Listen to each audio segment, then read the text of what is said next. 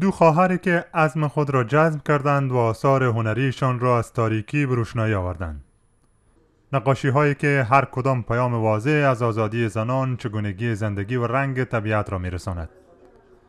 گیتا و اسما 35 اثر نقاشیشان را در این اتاق نچندان بزرگ کنار هم گذاشتند تا این گونه هنرشان را نشان دهند. ما خواستیم که با برگزاری این نمایشگاه دوباره دریچه از امید را بر روی خود و بر روی تمام هنرمندا باز کنیم. و ای که ما می‌خوایم به توکل به الله پاک یک شروع جدید داشته باشیم و شادی ها بیافرینیم و از غم ها مردم و خود دور بسازیم.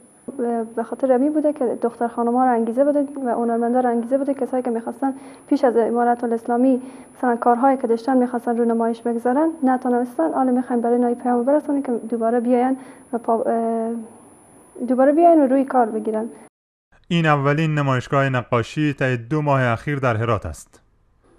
برخی دختران و پسران جوان به این باورند که این گونه نمایشگاه ها بار دیگر امید و زندگی را در دل مردم زنده می سازد.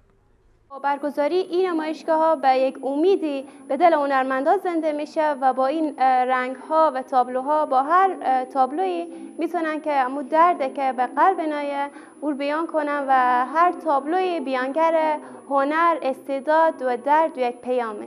برای حفظ این آثار ما نمی‌تونیم یک خط بکشیم روی تمام کارکردهای 20 ساله قبلی هنرمندان و این یک صد نباشه برای از اون ما همچنان کار می‌کنیم در بخش های علمی فرهنگی و این تلاش ما باعث از این میشه که این ثمر بده این کارو.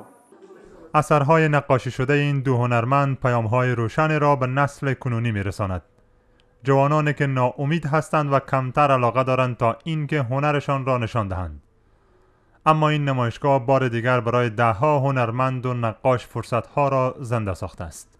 وظیفه و مسئولیتی که دارن اینا اینه که باید انگیزه و مو تلاش خود از دست ندن و کار کنن و خصوصا هنر قدیم با هنر معاصر ادغام کنن و به افقهای جدید فکر کنن و در راستای کشوری در سطح بین المللی بتونن بدرخشن طی دو ماه گذشته خبری از برگزاری نمایشگاه های نقاشی و یا هر هنر دیگری در هرات نبود. اما این دختران گام برداشتند تا بتوانند برای روزهای آینده ادامه دهند.